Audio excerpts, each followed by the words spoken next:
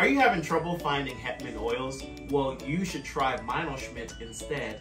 Meinl-Schmidt is now the oil that Houghton Horns recommends for most horns, and it's the only oil that our repair shop uses.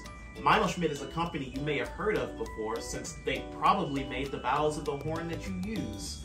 If you play any high-end horn, such as Rico Kuhn's, Alexander's, Rauch's, Medlin's, your valves were made by Meinl Schmidt. Meinl Schmidt made this oil specifically because they know exactly what their valves need. It uses a numbering system just like Hetman. So if you were using a Hetman number 11, you can use a Meinl Schmidt number 11. If you wanted to use Hetman number 7 on your slides, you can use Meinl Schmidt number 7 on your slides. This oil is really great. I've been using it for months, and we're happy to have it here. Subscribe to Houghton Horns for more French horn content.